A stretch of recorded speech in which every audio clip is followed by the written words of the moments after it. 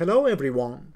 In today's video, I'll show you how to remove audio from a video on your Mac using QuickTime Player. Let's get started. To remove audio from a video, I first launch the QuickTime Player app on my MacBook, then right-click on the video and select Open with QuickTime Player. Next, I click the Edit menu and from the drop-down menu select Remove Audio. I now have a video without sound.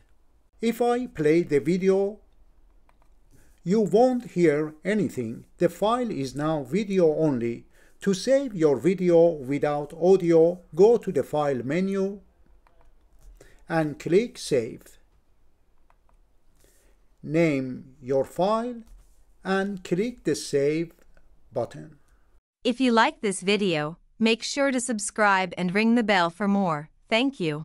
If you change your mind before saving your file, go to the Edit menu and select Undo Remove Audio.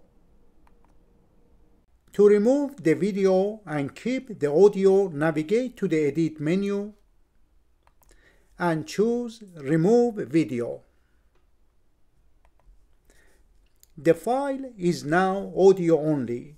Next, click the File menu and choose Save. Name your file and finally save your file. To export the audio without removing it from your video, click the File menu and choose export as audio only. Name your file, for example, audio 1.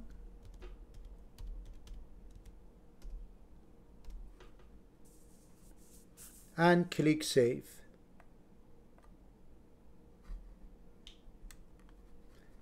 I hope you learned something new today. If you did, please consider subscribing by clicking on the LT Lucid Tutorials logo and sharing the video link with your friends. Your support will inspire me to create more videos for you. Thank you for watching.